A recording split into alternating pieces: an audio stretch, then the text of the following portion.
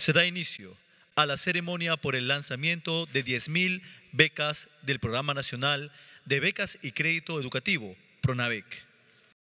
Señora Ministra de Educación, señora Directora Ejecutiva del PRONAVEC, apreciadas becarias y becarios del PRONAVEC, señores y señoras de la prensa, señoras y señores.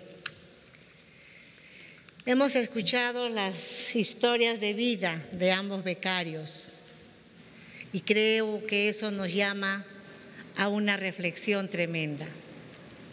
La educación cambia vidas, no solo del que estudia y gana un título profesional, sino de su entorno familiar, pero también de la sociedad. Creo que la mejor herencia que los padres dejamos a nuestros hijos y que nuestros padres nos dejaron fue el conocimiento a través de la educación. Como decía Héctor, y también tu nombre, Betsy, los papás no siempre han tenido los recursos económicos para poder financiar los estudios. Ya a algunos nos ha costado trabajar y estudiar trabajar y estudiar, estudiar y trabajar para forjarnos un futuro. Pero desde el gobierno queremos apostar y queremos dejar esa herencia a nuestra juventud, la educación, el conocimiento, el forjar vidas, cambiando futuros con esperanza. Cuando asumimos el gobierno, encontramos que Beca 18 tenía 5 mil becas, pero mirábamos el universo de juventud allí afuera, sin esa posibilidad de buscar ese futuro con esperanza. Conversando con el ministro de Economía, con los ministros, dijimos tenemos que duplicar para el próximo año, 2024, de 5 mil a 10 mil. Pero también supimos que algunas becas no son tomadas, porque en el momento que van a dar el examen, tenemos la dificultad de rendir un buen examen y que esa beca sea tomada por el postulante. Por eso que ahora estamos innovando, incentivando a que además de la beca tengamos esa preparación prebeca, si es que le podemos llamar, para que no se pierda ni una sola beca, sino las 10 mil en el 2024 sean tomadas por todas las becarias y becarios. Pero no nos quedamos en, el en las 10 mil becas, porque estamos convencidos que el cambio de la sociedad peruana, porque somos peruanos de sangre, pluricultural, con diversas culturas, con diversas historias, pero somos peruanos al fin.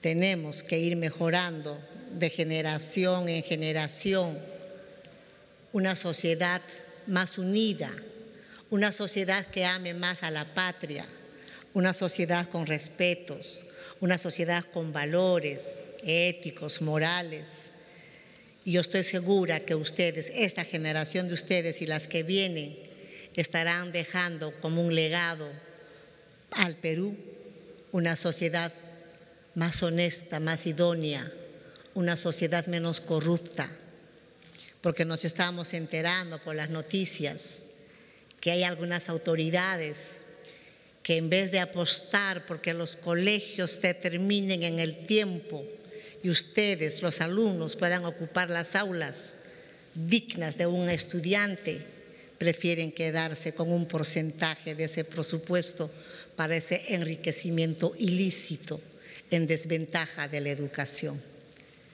Ustedes, queridas becarias, becarios, deben tener como compromiso esa lucha frontal, desde donde estén, contra la corrupción porque ese dinero que se queda en el camino en actos de corrupción es el dinero de todos ustedes, de todos nosotros, de nuestros impuestos.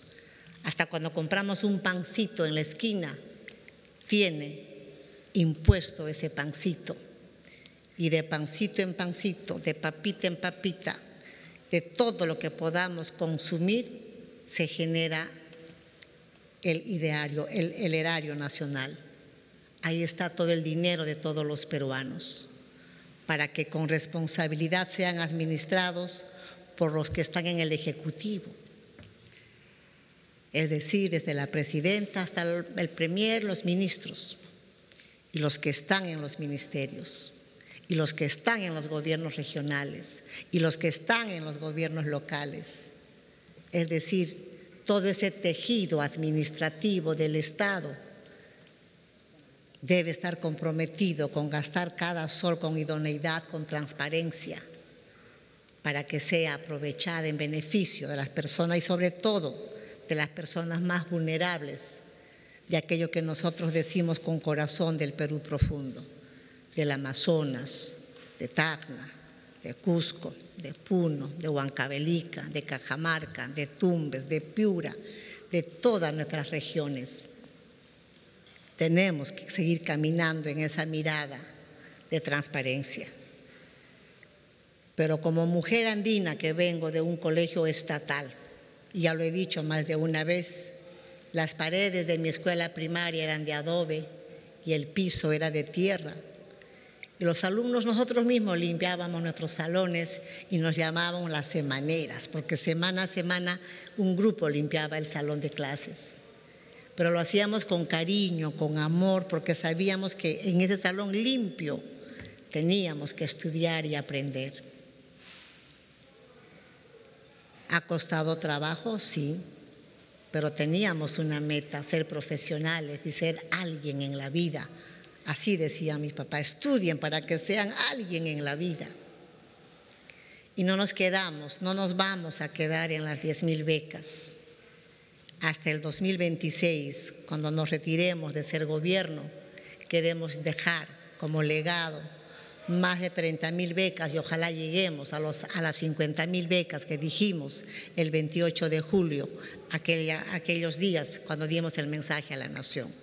Así es que dejaremos esa herencia a nuestros hermanos menores que son ustedes la generación, con 50 mil becas cuando nos retiremos de ser gobierno.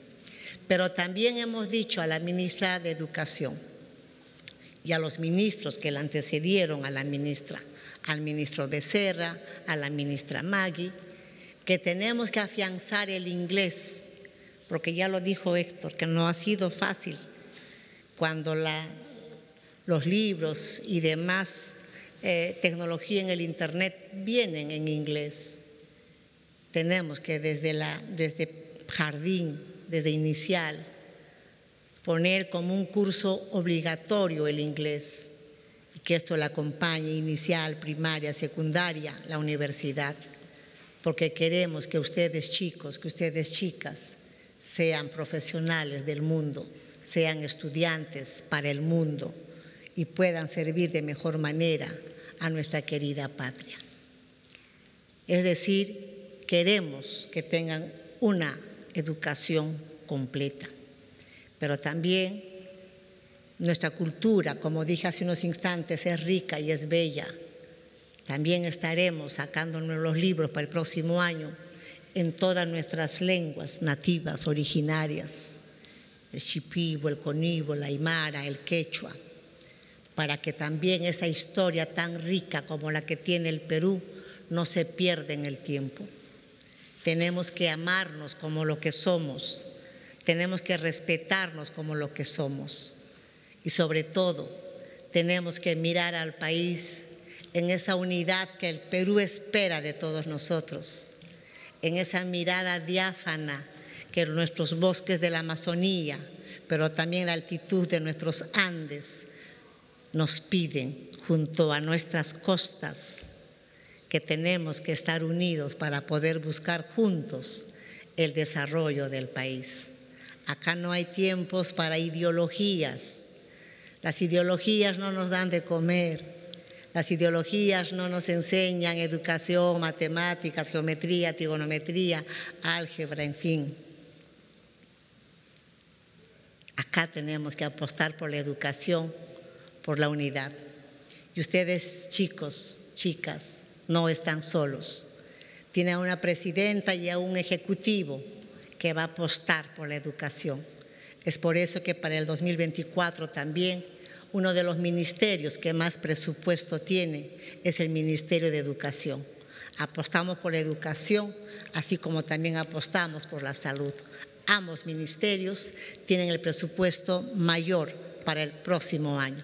Así que chicos, sean bienvenidos a Beca 18, pónganle punche saquen todo el coraje de peruanos que tienen adentro, pongámosle la blanquirroja, no solamente para aplaudir a nuestra selección nacional, que por cierto ayer hemos visto un empate victorioso que jugamos 10 a 11, pero empatamos en ese corazón de la blanquirroja.